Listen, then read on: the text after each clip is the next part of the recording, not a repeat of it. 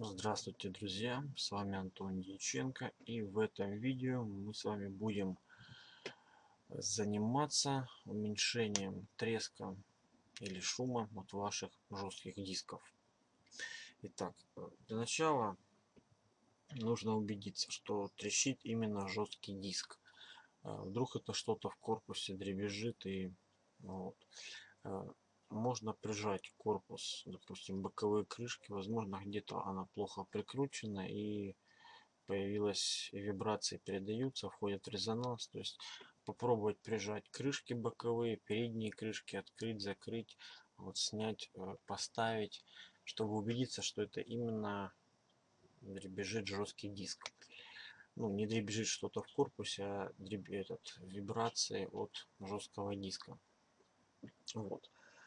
А если же этот это дребезжит жесткий диск и он начал дребезжать недавно, то э, лучше сразу скопировать с него все важные данные и затем проверить его программой от производителя.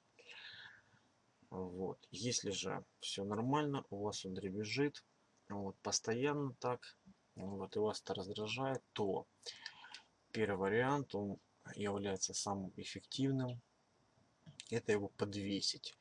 Э, я сам подвешивал его на витую пару. То есть в корзину для жестких дисков я его вытащил, убрал салазки, на которых он крепился. И в местах, где э, можно вкрутить винты в жесткий диск, подвесил на витую пару его. Вот эффект был очень интересный и очень сильный. То есть шум заглушился приблизительно процентов на 70 где-то. Никаких тресков от э, блока головок фактически не было слышно, только если прислушиваться. Вот. Также хорошо помогают, ну хуже, но в принципе хорошо помогают э, виброизолирующие прокладки. То есть если к винтам там как-то приделать э, то ли резиночки. Бывает сразу продаются в комплекте в хороших корпусах. Ну вот. Тоже хорошо получается. Так, э, и последний вариант, который, наверное, можно советовать. Ну, в принципе, он рабочий и хорошо рабочий. Это управление... Так, сейчас мы... Автоматика Acoustic Management. То есть эта функция есть в жестком диске и она позволяет управлять по-моему скоростью разгона головок э, кронштейна с головками э, жесткого диска. Итак давайте мы сейчас зайдем в компьютер. Так как на моем компьютере к сожалению жесткий диск Hitachi отказался так, вот Hitachi Features, IDE Features. Так, так, так, так, вот, не поддерживается. В принципе, он не шумит сильно.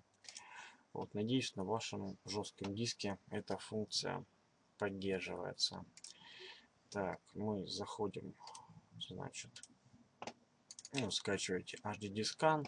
Его устанавливать не нужно и это большой плюс. Запускайте HDD Scan .exe. Так, немножко ждем. Есть. Теперь нажимаете на э, самую основную кнопку. Выбираем Features и IDE Features. Есть. Здесь автоматика Acoustic Management поддерживается и сразу заведомо установлено минимальное значение. Ну,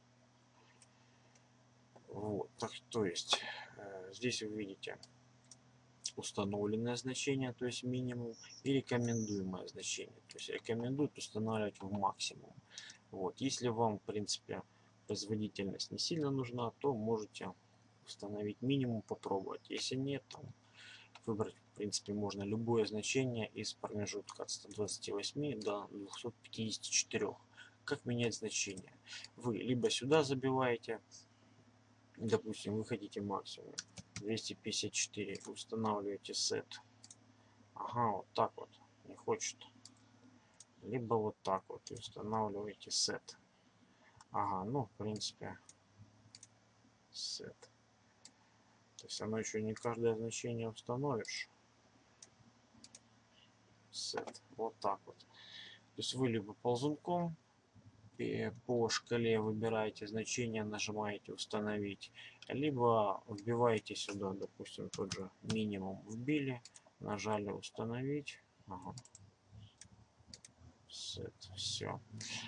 Вот. И э, вслушивайтесь в работу вашего жесткого диска. Если стало тише, значит все хорошо. Вот. Также смотрите за производительностью, чтобы вас она устраивала. Вот. На этом, в принципе, все. Э, утихомиривайте свои жесткие диски. Вот. С вами был Антон Дьяченко. До встречи в следующих видео.